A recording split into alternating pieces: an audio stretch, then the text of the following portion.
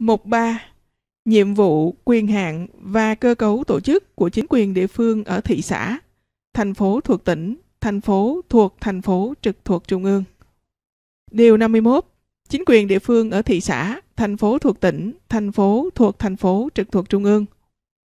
Chính quyền địa phương ở thị xã, thành phố thuộc tỉnh, thành phố thuộc thành phố trực thuộc trung ương là cấp chính quyền địa phương gồm có Hội đồng Nhân dân thị xã, thành phố thuộc tỉnh, thành phố thuộc thành phố trực thuộc trung ương và Ủy ban Nhân dân thị xã, thành phố thuộc tỉnh, thành phố thuộc thành phố trực thuộc trung ương. Điều 52. Nhiệm vụ, quyền hạn của chính quyền địa phương ở thị xã, thành phố thuộc tỉnh, thành phố thuộc thành phố trực thuộc trung ương. 1.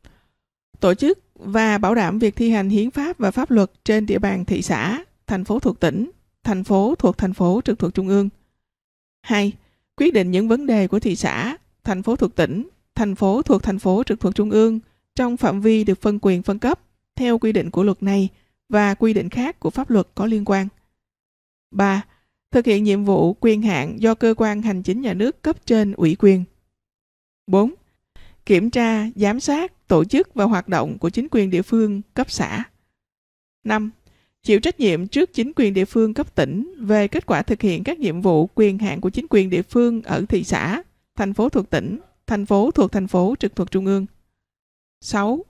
Quyết định và tổ chức thực hiện các biện pháp nhằm phát huy quyền làm chủ của nhân dân, huy động các nguồn lực xã hội để xây dựng và phát triển kinh tế xã hội, bảo đảm quốc phòng, an ninh trên địa bàn thị xã, thành phố thuộc tỉnh, thành phố thuộc thành phố trực thuộc trung ương. Điều 53.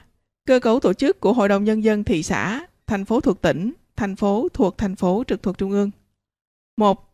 Hội đồng Nhân dân thị xã, thành phố thuộc tỉnh, thành phố thuộc thành phố trực thuộc trung ương, gồm các đại biểu Hội đồng Nhân dân do cử tri ở thị xã, thành phố thuộc tỉnh, thành phố thuộc thành phố trực thuộc trung ương bầu ra.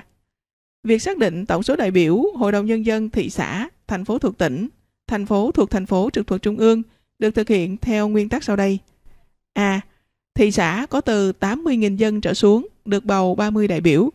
Có trên 80.000 dân thì cứ thêm 15.000 dân được bầu thêm một đại biểu, nhưng tổng số không quá 35 đại biểu. B. Thành phố thuộc tỉnh, thành phố thuộc thành phố trực thuộc trung ương có từ 100.000 dân trở xuống được bầu 30 đại biểu. Có trên 100.000 dân thì cứ thêm 15.000 dân được bầu thêm một đại biểu, nhưng tổng số không quá 35 đại biểu. C. Số lượng đại biểu Hội đồng Nhân dân ở thị xã, thành phố thuộc tỉnh, thành phố thuộc thành phố trực thuộc trung ương có từ 30 đơn vị hành chính cấp xã trực thuộc trở lên do Ủy ban Thường vụ Quốc hội quyết định theo đề nghị của Thường trực Hội đồng Nhân dân cấp tỉnh, nhưng tổng số không quá 40 đại biểu. 2.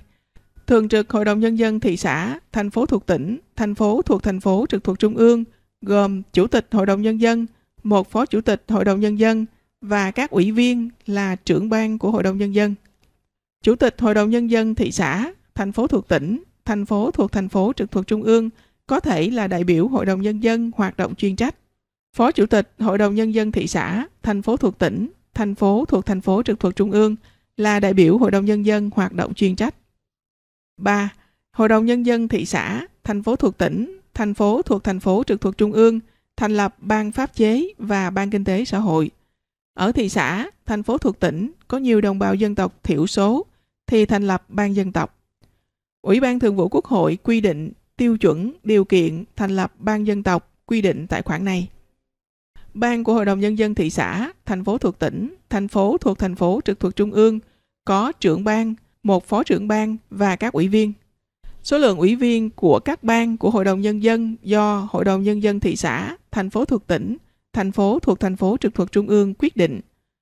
Trưởng ban của Hội đồng Nhân dân thị xã, thành phố thuộc tỉnh, thành phố thuộc thành phố trực thuộc trung ương có thể là đại biểu Hội đồng Nhân dân hoạt động chuyên trách.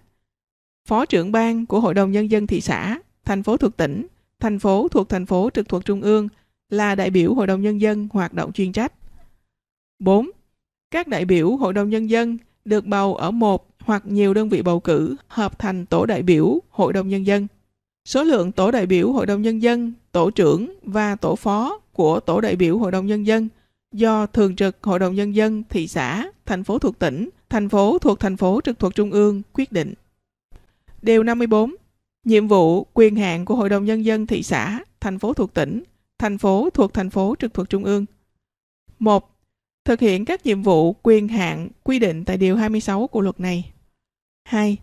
Quyết định quy hoạch xây dựng và phát triển đô thị trên cơ sở quy hoạch của tỉnh, thành phố trực thuộc Trung ương để trình cơ quan nhà nước có thẩm quyền xem xét, phê duyệt, quyết định dự án đầu tư công trình đô thị trên địa bàn theo quy định của pháp luật. 3.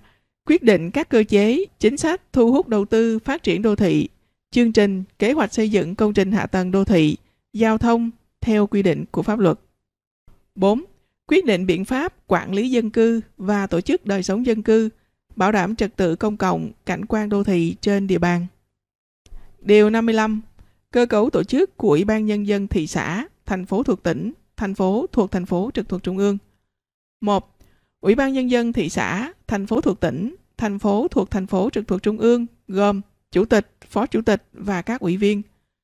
Ủy ban Nhân dân thị xã, thành phố thuộc tỉnh, thành phố thuộc thành phố trực thuộc Trung ương loại 1 có không quá 3 Phó Chủ tịch. Ủy ban Nhân dân thị xã, thành phố thuộc tỉnh, thành phố thuộc thành phố trực thuộc Trung ương loại 2 và loại 3 có không quá hai Phó Chủ tịch. Ủy viên Ủy ban Nhân dân thị xã, thành phố thuộc tỉnh, thành phố thuộc thành phố trực thuộc Trung ương, gồm các ủy viên là người đứng đầu cơ quan chuyên môn thuộc Ủy ban Nhân dân thị xã, thành phố thuộc tỉnh, thành phố thuộc thành phố trực thuộc Trung ương, ủy viên phụ trách quân sự, ủy viên phụ trách công an. 2. Cơ quan chuyên môn thuộc Ủy ban Nhân dân thị xã, thành phố thuộc tỉnh, thành phố thuộc thành phố trực thuộc Trung ương, gồm có các phòng và cơ quan tương đương phòng. Điều 56. Nhiệm vụ quyền hạn của Ủy ban Nhân dân thị xã, thành phố thuộc tỉnh, thành phố thuộc thành phố trực thuộc Trung ương. 1. Thực hiện các nhiệm vụ quyền hạn quy định tại Điều 28 của luật này. 2. Xây dựng, trình Hội đồng Nhân dân thị xã, thành phố thuộc tỉnh, thành phố thuộc thành phố trực thuộc Trung ương, quyết định các nội dung quy định tại các khoản 2, 3 và 4, Điều 54 của luật này và tổ chức thực hiện các nghị quyết của Hội đồng Nhân dân thị xã, thành phố thuộc tỉnh, thành phố thuộc thành phố trực thuộc Trung ương. 3. Quyết định cơ chế khuyến khích phát triển công trình hạ tầng đô thị trên địa bàn theo quy định của pháp luật. 4. Quyết định kế hoạch xây dựng công trình hạ tầng đô thị, quy hoạch phát triển đô thị theo quy định của pháp luật. Điều 57. Nhiệm vụ, quyền hạn của Chủ tịch Ủy ban Nhân dân thị xã, thành phố thuộc tỉnh, thành phố thuộc thành phố trực thuộc Trung ương. 1 thực hiện các nhiệm vụ quyền hạn quy định tại Điều 29 của luật này. 2. Chỉ đạo và tổ chức thực hiện quy hoạch, kế hoạch phát triển hạ tầng đô thị, quản lý không gian, kiến trúc, cảnh quan đô thị trên địa bàn. 3. Quản lý quỹ đất đô thị.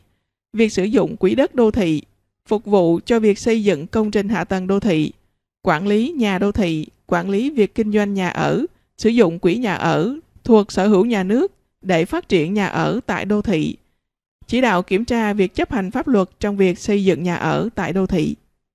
4. Chỉ đạo sắp xếp mạng lưới thương mại, dịch vụ, du lịch đô thị, thực hiện các biện pháp quản lý dân cư và tổ chức đời sống dân cư đô thị. 5. Chỉ đạo và tổ chức thực hiện nhiệm vụ bảo đảm trật tự công cộng, an toàn giao thông, phòng chống cháy nổ, ủng tắc giao thông trên địa bàn.